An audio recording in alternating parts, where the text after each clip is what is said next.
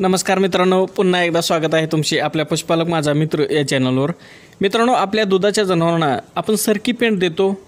त्याने आपल्या गाईचे दूध वाढते सुद्धा पण सध्या या सरकी पेंडीचा दराचा किंवा इतर पशुहाराचा जर विचार केला तर सारखा सारखा वाढत जात आहे. त्यामुळे आपल्याला या सरकी पेंडीचा प्रॉपर पद्धतीने व आपल्या गाईला देत असलेल्या खुराकाचा बॅलन्स करून ही सरकी पेंड वापरावी लागते. कारण गाईचे दूध वाढते म्हणून योग्य रेशोचा विचार न करता फक्त सरकीपेंड जर वापरत असाल तर खूप अशा समस्या आपल्या गाईमध्ये आपल्याला बघायला मिळतात. सध्या बऱ्याच जणांचा एक कॉमन असा प्रश्न असतो की सर गाईला सरकीपेंड देणे योग्य आहे का? आणि जर देत असाल तर किती प्रमाणात द्यावी? आणि या सरकीपेंडेचा जास्त वापर जर झाला तर त्याचे दुष्परिणाम काय होतात? असं त्यांचा सतत एक प्रश्न असतो. म्हणून आज या व्हिडिओमध्ये मुद्दाम हा टॉपिक मी घेतला आहे. या व्हिडिओमध्ये सरकी पेंडीचा अतिरिक्त वापर केल्याने काय दुष्परिणाम होतात व या सरकी पेंड्याचा योग्य प्रमाणात वापर कसा करावा याची एकदम अचूक आणि परफेक्ट माहिती तुम्हाला सांगणार आहे. व्हिडिओला सुरुवात करण्याआधी तुम्ही या चॅनलवर नवीन असाल तुम्ही या चॅनल पहिले बघ हा जर चॅनल तुम्ही पहिली वेळेस बघत असाल तर पशुपालक माझा मित्र या चॅनलला सबस्क्राईब करा. आणि ऑल या बटनावर क्लिक करायला विसरू नका कारण ऑल या बटनावर जर तुम्ही नाही क्लिक केले तर पुढचे व्हिडिओ तुम्हाला बघायला मिळणार नाही किंवा त्याचे नोटिफिकेशन तुम्हाला मिळणार नाही.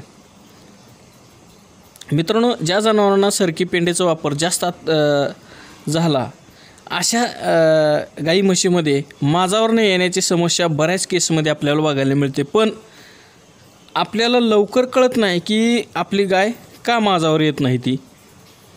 आपण डॉक्टरांना दाखवतो कधी कधी त्यांच्यासुद्धा लक्षात येत नाही की सरकी पेंडीमुळे गाईच्या गर्भाशयावर हे फॅटचे प्रमाण वाढलेले आहे. हे कधी कधी काही केसमध्ये सुद्धा डॉक्टरांना आपल्या कळत नसते. मित्रांनो आपण आपल्या दुधाच्या गाई म्हशींना सरकी पेंड खाऊ घालण्याचे सर्वात मोठे दुष्परिणाम म्हणजे या सरकीमधील जो फॅट असतो त्याचं अतिरिक्त प्रमाण जर झाले तर तो एक्स्ट्रा झालेला फॅट असतो ना तो आपल्या गाईच्या गर्भाशयावर डिपॉझिट होत असतो. म्हणजे साठला जात असतो. कारण या सरकीमध्ये प्रोटीनचे प्रमाण जास्त असते त्यामुळे गाईचे दूध वाढवून मिळते. म्हणून आपण काय करतो की आपलं सरकी ही याचे प्रमाण हे खूप वाढवून देतो त्या गाईला.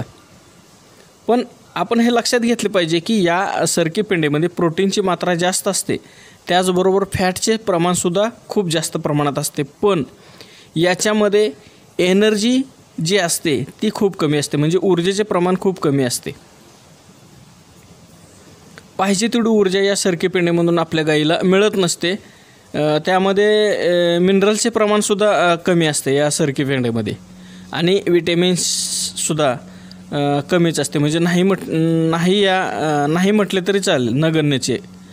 त्यामुळे काय होते की नसल्यामुळे या सरकी पेंडेमधून जे प्रोटीन आणि फॅटचे प्रमाण आपल्याला मिळते ते जनावरांच्या शरीरासाठी पाहिजे तेवढे फायद्याचे ठरू शकत नाही. यामुळे काय होते की आपण असे जर खूप जास्त दिवस कंटिन्यू जर सरकीपेंडीचा जर वापर आपल्या जनावरांना ठेवला तर सर्वात पहिली आणि मोठी समस्या म्हणजे आपली गाय माझावर येत नाही.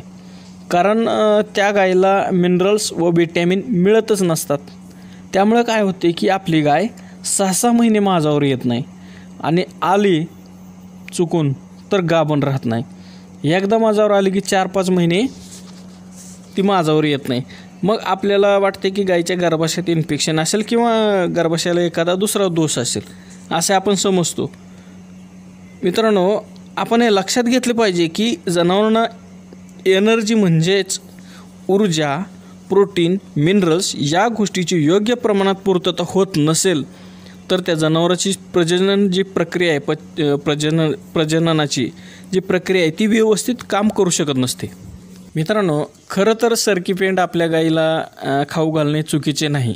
आपल्याला खाऊ घालायलाच पाहिजे दूध वाढीसाठी. पण आपण या सरकी पेंड्याचा वापर लिमिटमध्ये करत नाही म्हणून सगळ्यात मोठा घोळ होत असतो. मित्रांनो सरकी पेंड वापरायची असेल तर एखाद्या दुसऱ्या गोष्टीसोबत याचं कॉम्बिनेशन करून खाऊ घातली तरच या काय होतं की याच्यासारखा दु चांगला खुराक दुसरा होऊ शकत नाही. म्हणून आपण आपल्या गाईला जो खुराक देतो त्याच्या पंचवीस ते तीस टक्क्यापेक्षा जास्त ही सरकीपेंड असली नाही पाहिजे. कारण याचे प्रमाण जास्त झाले तर अफ्लाटॉक्सिनची समस्या येऊ शकते. आणि दुसरी महत्त्वाची गोष्ट म्हणजे या सरकी सायनोग्लुकोनाईटचे प्रमाण असते. म्हणजे याची मात्रा असते. आणि हे असल्यामुळे प्रोटीनचे युटिलायझेशन होत नसते. त्यामुळे आपल्या गाईच्या खुराकामध्ये सरकी पेंडेचे जे प्रमाण आहे ते पंचवीस ते तीस टक्क्यापेक्षा जास्त असता कामा नये. मित्रांनो सरकी देत असताना पूर्ण खुराकामध्ये पंचवीस ते तीस टक्के सरकी आणि उरलेला जो खुराक असतो आपला तो मक्का भरडा घ्या त्याच्याबरोबर किंवा गहू बरडा घेऊ शकता हरभरा कळणा घेऊ शकता यासारख्या गोष्टीबरोबर बारीक भरडून चांगले मिक्स करून जर खुराक तयार केला व तो आपल्या दुधाच्या जनावरांना दिला तर आपल्या जनावराची एनर्जीची प्रोटीनची मिनरल्सची फॅटची या सर्वांची जी रिक्वायरमेंट असते ती पूर्ण होईल आणि आपली गाय दूध एकदम जास्त देईल आणि प्रॉपर पद्धतीने माझावर येईल व वे वेळेवर गाभण जाईल. आणि प्रत्येक वर्षाला एक वासुरं आपलं आपण त्या गाईपासून घेऊ शकाल. व आपला अतिरिक्त जो खर्च आहे तो वाचेल. त्यामुळे काय होणार आहे की आपल्या खिशाला कात्री बसणार नाही. तर तुम्ही जर सरकी पेंट वापरत असाल तर अशा पद्धतीने तुम्ही वापरा मित्रांनो. अतिरिक्त वापर करू नका. तर तुम्हाला ही माहिती आवडली तर व्हिडिओला लाईक करा आणि हा व्हिडिओ इतर पशुपालक मित्रांना शेअर करा. भेटूया अशाच एका नवीन व्हिडिओमध्ये. तोपर्यंत धन्यवाद.